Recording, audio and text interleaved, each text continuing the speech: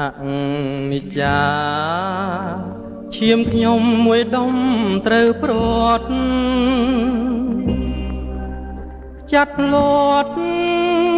ដោយកំហុសម្ដាយវា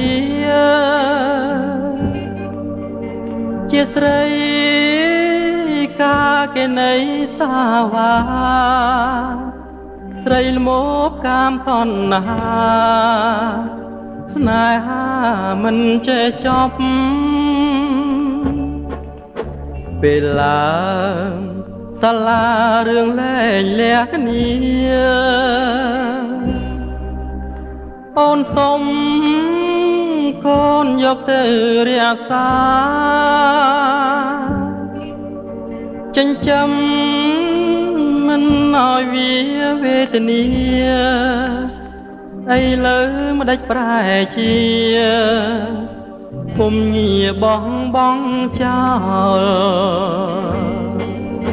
មើលចោមើលស្រីមានប្តីច្រើនបង្កើនតែរឿងកាមតណ្ហាភ្លេចកូនឲ្យ គេមើងងាយគ្រប់គ្នា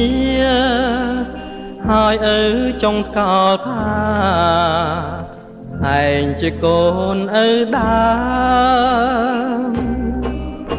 កូនអើយកូនកើតមកអាភ័ព្វក្រៃមានម្ដាយចិត្តជាកាកៃ មិនដែលស្គាល់នៅក្តីសប្បាយតែនឹងបានរីករាយពេលបានជួបមុខអើ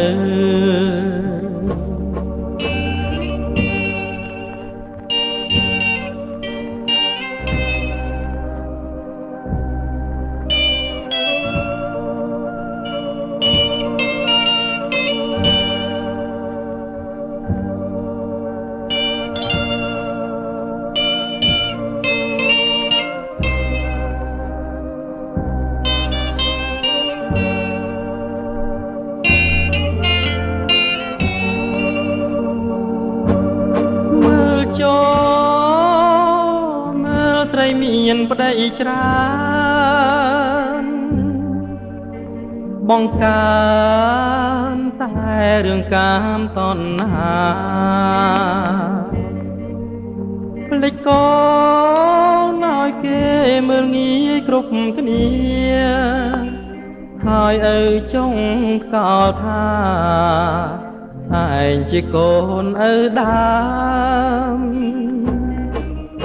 កូនអើយ កូនកើតមកអាពពក្រៃមានម្ដាយចិត្តជាកាកៃមិនដែលស្គាល់នៅក្តីសប្បាយតែនឹងបានរីករាយ